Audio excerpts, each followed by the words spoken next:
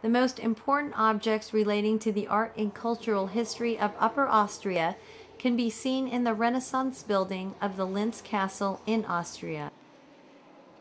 Visitors should take note of some special focal points.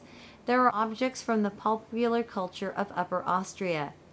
These objects include traditional costumes and golden hats typical for the province, collection of arms and armors, and the Mintage cabinet. The permanent exhibition in the basement takes visitors back to the beginnings of Upper Austria, all the way back to the Middle Ages and the times of the Romans. Additionally, the Castle Museum offers special exhibitions including cultural, artistic, and natural science. For more information, go online.